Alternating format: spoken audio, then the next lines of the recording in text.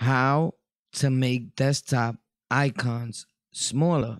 Resize desktop icons in Windows 10. Very simple method. Now, they could be very annoying if they big, but some people need it for their vision. And we get that. But for some people, it could be annoying, or they see better smaller, or what have you. So, for whatever your reason is, it's a simple method.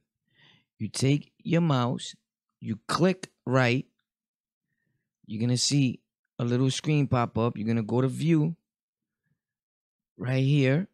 You see mine is on medium. If you want to enlarge them, you press large icons. Bam. Humongous. Right click, go to views,